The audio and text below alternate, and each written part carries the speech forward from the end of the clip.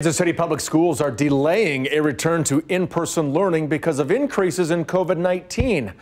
On the Kansas side, schools may have to send kids back home. Betsy Webster heard one parent's concerns and joins us tonight with what she learned. Betsy?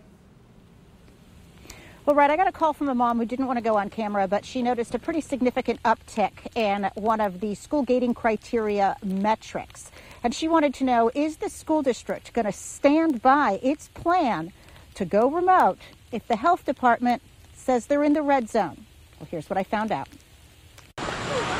Olathe's elementary kids went back to school in person four weeks ago with masks, distancing, sanitizing, and ventilation protocols in place. Shawnee Mission Schools started the youngest a week later in hybrid mode, only today, bringing them in full time. Here's the district spokesman. We want to be consistent. We don't. We want to try to avoid the yo-yo back and forth, up and down. So that's why we sort of started slow. The concern involves this county chart, what they call gating criteria. The number one factor is incidence rate, the number of positives in a two-week average per 100,000 people.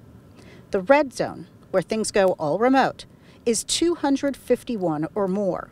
As of today, that number is 248 and has been climbing for at least two weeks. But that's not the only factor the health department considers. This chart is percent positivity rate, the number of new positives divided by the number of people tested. That sits in the yellow at 7.4%, though it is also ticking up. The county health department looks at those two factors, as well as what they call modifying variables, four of them, to decide red, orange, yellow, or green. In light of all the pressure districts faced this summer from parents pushing for sports and in school learning, we pressed on whether Shawnee Mission would abide by what the health department recommends if they go to red. We are close collaborators with them, and we plan to follow their advice. Plan to? Is that a promise? Um, I don't make promises because you know there are lots of things that could potentially intervene. He would not give us hypothetical examples, but said they're prepared to go remote if needed. Because we've come from you know the uh, remote environment through hybrid, we know how to do it. So if we have to, we can go back to that.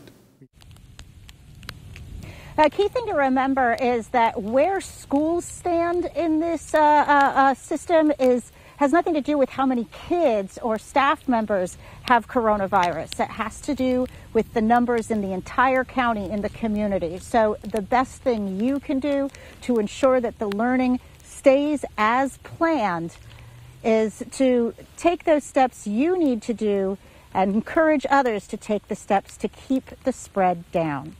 Reporting live in Overland Park, Kansas, Betsy Webster, KCTV 5 News.